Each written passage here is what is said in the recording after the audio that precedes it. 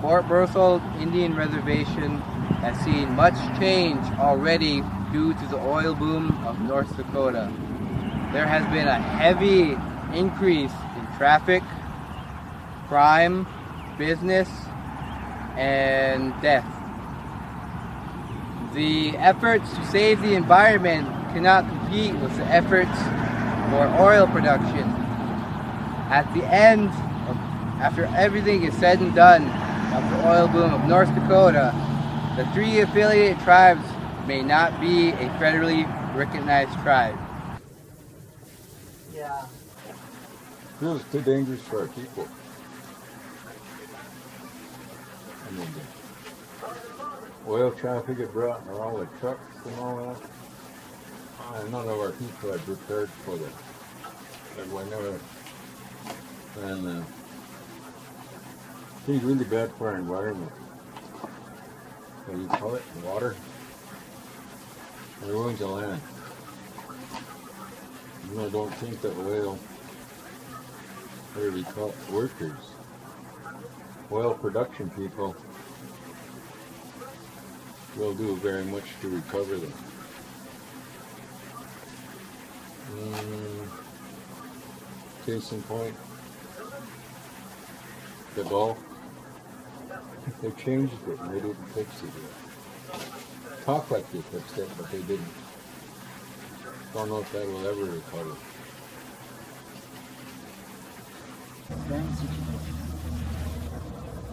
I think it's good for the tribe, the reservation, and everything. With the money it brings in, I don't agree on how they handle the money, but I think it, it's good for the people, but not for the community. Brings in our traffic is a problem. The people coming in, the, the sex offenders that are all over the reservation now. Um, it has its positive and negative. Hmm. I don't know, 'cause some days it has its good moments, like when you see some money come in, and some days it's not so hot, and you have to stand in line, or you're trafficked in, or you see the trash and the, the dump and how the place looks, or you hear about the accidents. Mostly it's negative to me, because I don't see too many financial benefits from it, and don't really need the financial benefits, so when I look at the the state of it, it is it's frustrating. As it's good and bad, the good part is um, people are benefiting off it. They are getting money, or they they're finally having money to like spend, get new stuff or stuff they never had. Um, tribe is also benefiting off it too. There's new business here. Um, Yeah. No, shut up. Uh, that's tough because with money comes all kinds of stuff like greed and that stuff can get between families and as a tribe, tribal unit or as a reservation, we're supposed to be a big family. You can see the corruption coming from it already. Um, as far as the future, today's kids seem to be more and more like the outer society, more interested in possessions than than anything more wholesome than that. So I don't know. Actually, I'm, I'm not too negative a person, but it, it doesn't look good.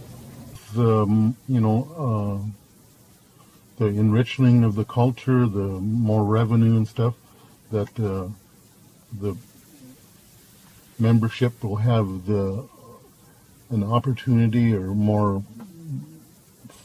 funding to to expand programs that does cultural and and for the benefit of the uh, membership of the tribe. Uh, you know, holding cultural events like, um, you know, like these hand games, story or Indian story or old storytelling by the elders and stuff. That all takes uh, funding and whatnot to put it on to, you know, like you to rent the halls and and provide food or or even stipends for the people that are are going to be instructors or whatever for it.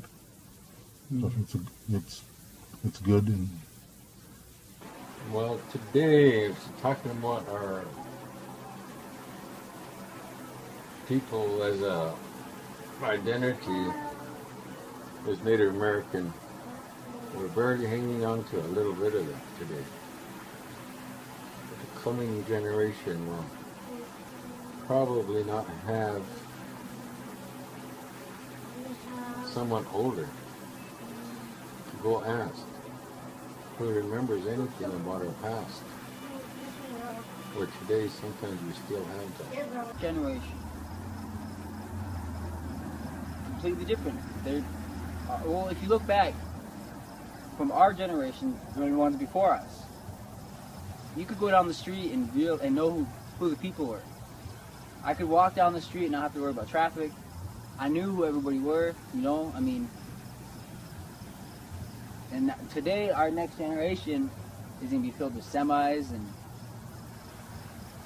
it's a different different community, different people. Reservation is different from 10 years ago. So, hopefully it's for the best, but I don't know.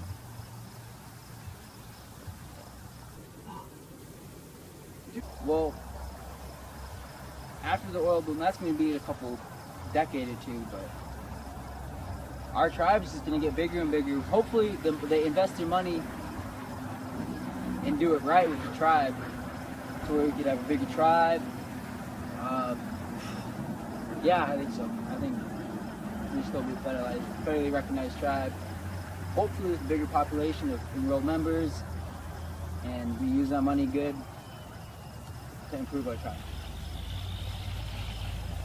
All right. Well, thank you so much for letting me interview you, you William Stevens. I hope.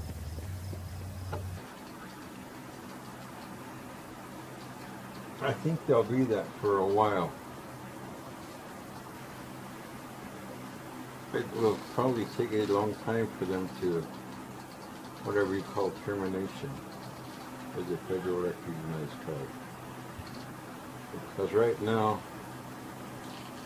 if the government was trying to say terminate our tribe or not have that federal recognition, right now they can afford to hire the very best people to keep that.